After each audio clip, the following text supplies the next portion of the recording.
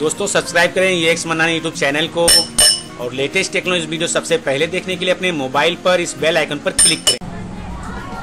दोस्तों, सामने जो मोबाइल देख रहे हैं, ये है लावा जेट सिक्सटी वन और इस मोबाइल को मैंने मेडिकल बॉक्स में, कई बॉक्स में एमआरटी डोंगल में यू डोंगल में ट्राई किया, लेकिन इसका एफ़ रिसेट नहीं हो रहा क्योंकि मोबाइल सपोर्ट नहीं है।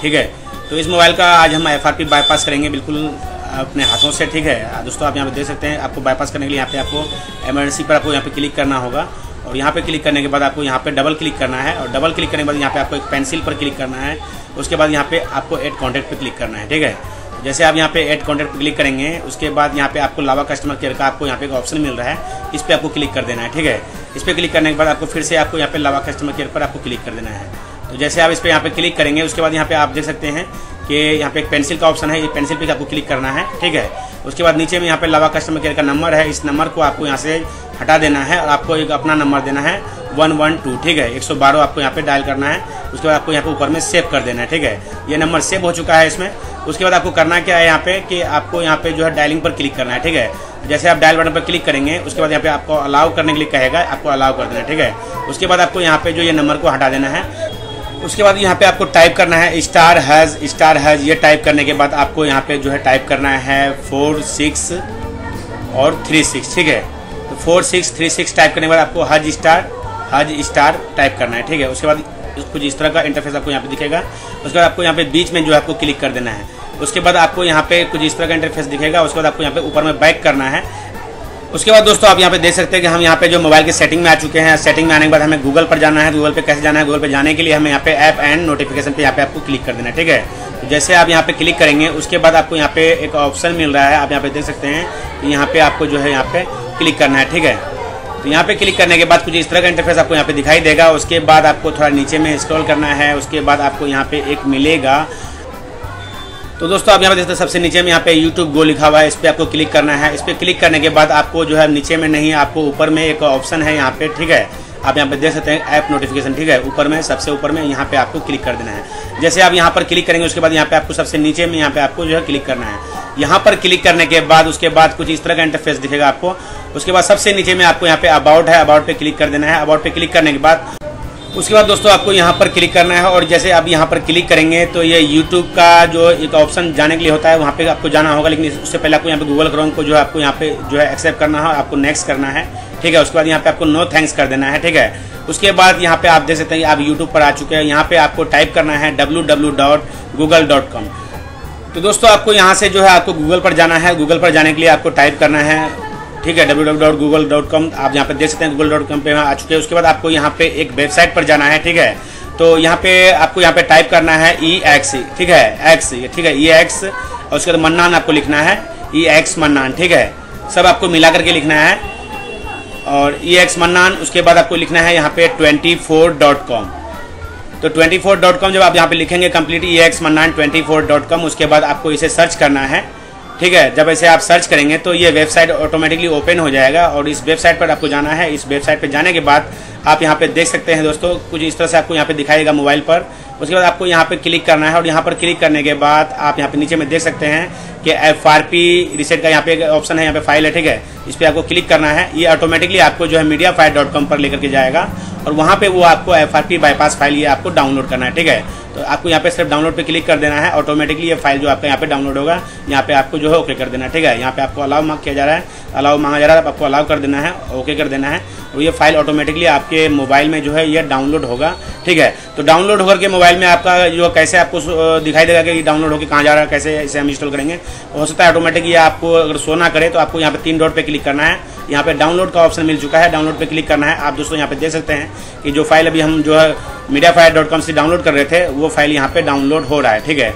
जैसे ये फ़ाइल कम्प्लीटली डाउनलोड होता है, इस फ़ाइल को डाउनलोड होने के बाद हम क्या करेंगे कि इस फ़ाइल को जो है इस मोबाइल के अंदर में इंस्टॉल करेंगे, ठीक है? तो चलिए इस फ़ाइल पे हम क्लिक करते हैं, उसको आप यहाँ पे देख सकते हैं सेटिंग मांगा जा रहा है। चलिए हम यहाँ पे सेटिंग दे देते हैं, उसके बाद वापस हम बैक करेंगे इसे। बैक करने के बाद फिर से हम यहाँ पे इसे इंस्टॉल करेंगे। आप यहाँ पे देखते हैं इंस्टॉल का ऑप्शन है। इंस्टॉल पे क्लिक करेंगे ऑटोमेटिकली ये जो है फ़ाइल जो है इस मोबाइल के अंदर में इंस्टॉल हो जाएगा, ठीक है? जब ये फ़ाइल इंस्टॉल हो जाएगा तो उसके बाद हमें कुछ नहीं करना है, ठीक है? इस फ़ाइल को ओपन नहीं करना है इंस्टॉल होने के बाद। इस फ़ाइल को इंस्टॉल होने के बाद हमें सिर्फ़ डन करना है, ठीक है? तो दोस्तों, आप यहाँ पे देख सकते हैं कि ये फ़ाइल इंस्टॉल हो चुका है, उसके बाद हमें यहाँ पे डन पे क्लिक कर देना है। उसके बाद हमें बैक आना है, ठीक है? वापस हमें वहीं जाना है, ठीक है? मोबाइल के शुरुआत में हमको जाना है, पूरा बैक आना है हमें, ठीक है? अब दोस्तों आप यहाँ पे देखते हैं बैग हो चुका है। उसके बाद फिर वापस उसी तरह से वही प्रक्रिया हमें जो करना होगा। फिर यहाँ पे हमें डबल क्लिक करना होगा एमरजेंसी में जा करके ठीक है, फिर से हमें जो यहाँ पे लावा कस्टमर केयर पे क्लिक करना है। उसके बाद यहाँ पे हमें जो है फिर से ये जो है इसे हटाना है वन वन टू को। उसके बाद हमें फिर यहाँ डायल करना है star hash star hash. Four six three six hash star hash star ठीक है फिर ये ऑप्शन आ चुका है, बीच में हमें क्लिक करना है, उसके बाद हमें यहाँ पे बैक करना है, हम सेटिंग में आ चुके हैं मोबाइल के सेटिंग में हम आ चुके हैं। अब यहाँ पे हम मोबाइल में करेंगे छेड़खानी, ठीक है बाईपास करने के लिए, ठीक है? तो सबसे पहले आपको क्या करना है, यहाँ पे आपको सिक्योरिटी में जाना है, ठीक है?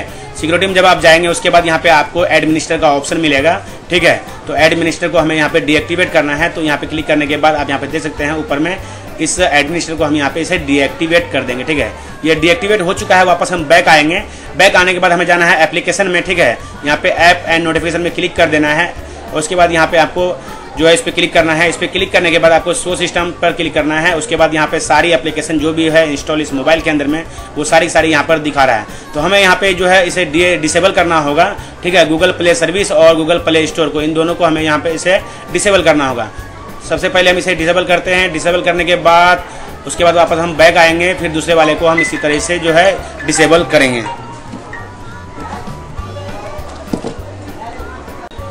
तो दोस्तों, आप यहाँ पे देख सकते हैं कि जो ये सक्सेसफुली जो है डिसेबल हो चुका है गूगल प्ले सर्विस और प्ले स्टोर दोनों डिसेबल हो चुका है। अब हमें क्या करना है? यहाँ पे हमें अकाउंट डालना है, ठीक है? तो अकाउंट डालने के लिए, अपना ईमेल आईडी डालने के लिए आपको यहाँ पे जो है अकाउंट पे जाना है, ठीक है? यूज़ एंड अकाउंट पे जाना है, यहाँ पे क्लिक करना है, उसके एड अकाउंट पे क्लिक करना है गूगल पे क्लिक करना है, उसके बाद यहाँ पे हमें जो एक नया अकाउंट देना है, ठीक है?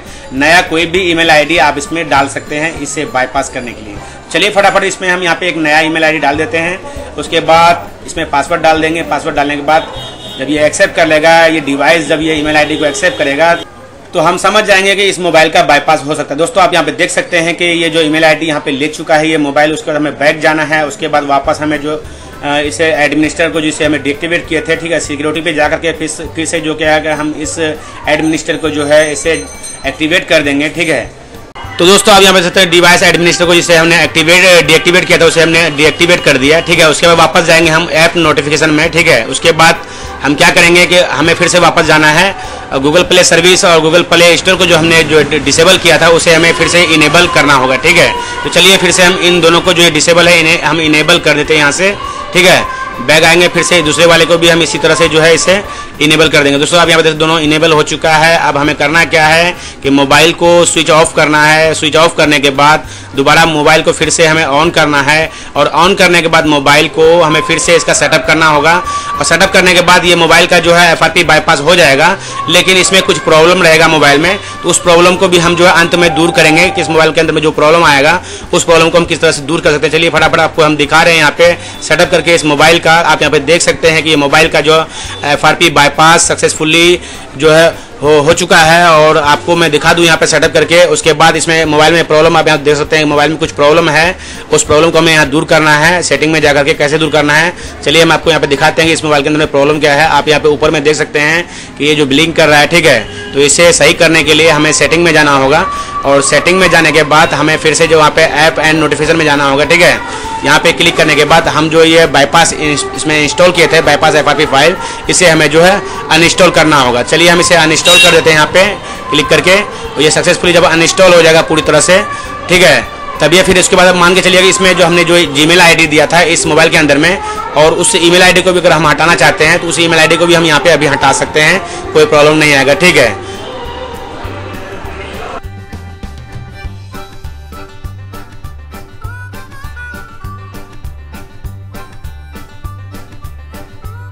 तो दोस्तों, आप यहाँ पे देख सकते हैं कि वो जो एफ़ बाईपास फ़ाइल हमने जो इंस्टॉल किया था इस मोबाइल के अंदर में, वो उसे हमने अनइंस्टॉल कर दिया है। आप मान के चलिए, अगर आपको इसमें जो आपने जी मेल दिया होगा, उस जी मेल को अगर आपको हटाना है, ठीक है कस्टमर के मोबाइल से तो आप यहाँ पे जो है क्लिक करके अकाउंट को यहाँ से जो है आप डीएक्टिवेट कर सकते हैं, इसे हटा सकते हैं यहाँ से, ठीक है? तो दोस्तों, अगर आपको ये वीडियो अच्छा लगा और आप किसी काम आए तो वीडियो को लाइक ज़रूर करें और शेयर करें फेसबुक व्हाट्सएप पर अपने दोस्तों के साथ और आपने हमारे चैनल को अभी तक सब्सक्राइब नहीं किया है तो सब्सक्राइब कर लें। तो मिलते हैं हम आपसे नेक्स्ट वीडियो में, तब तक के लिए बाय